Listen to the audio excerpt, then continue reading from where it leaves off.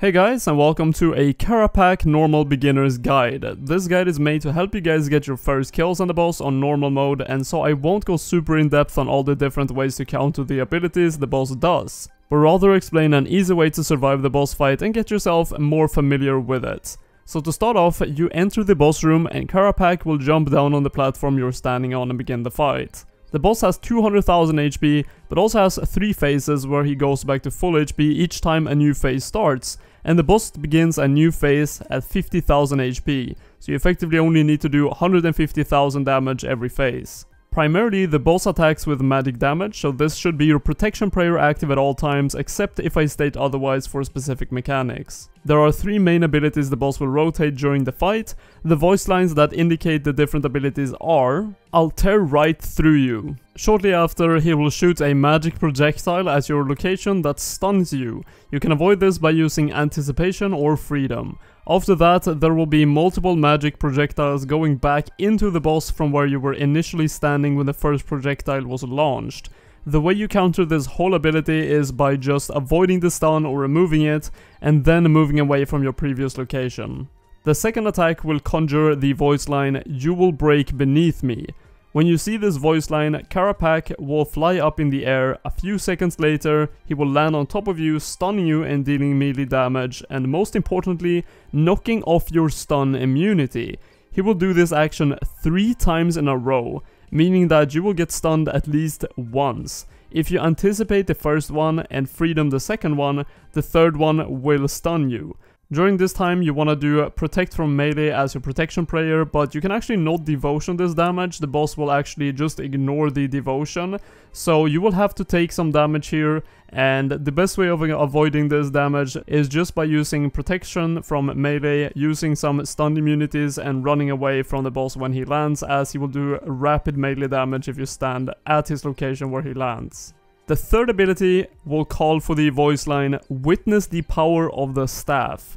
Avoiding this ability is pretty simple. A line of electricity will spawn at one side of the room going across the entire area.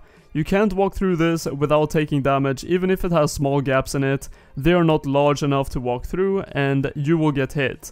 If you do get hit, you will take around 1500 damage per tick and it ticks pretty fast. The most simple way to counter this is to just surge or escape through them, this way you take no damage at all from this ability.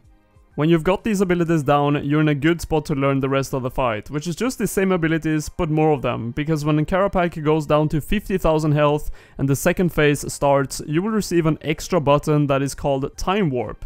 This button when pressed will take a snapshot of where you're at HP wise, cooldowns, prayer points, adrenaline and location, and if you press the button again or automatically after 10 seconds, you will return to the stage you're at. And at the same time as the second phase start and you receive this button, he will duplicate himself, making the fight go on as normal, but now with a clone copying the same abilities as the boss performs them.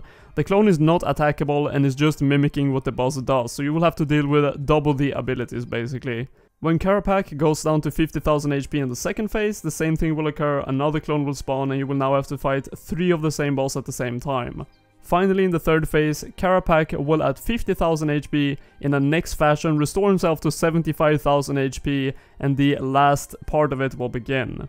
The boss will rapidly become stronger and stronger in a pure DPS race to finish the boss before he kills you. At this point make sure to do the most amount of damage possible and this is the only really part of the fight where your damage really matters and if you do not have the damage to kill the boss in the time where he will become so strong that he basically one-shots you, you can use abilities as Devotion with Magic Prayer to uh, prolong the fight or other defensive abilities. But if he becomes so strong that you basically die from one hit, then I would recommend you to try to increase your DPS somehow.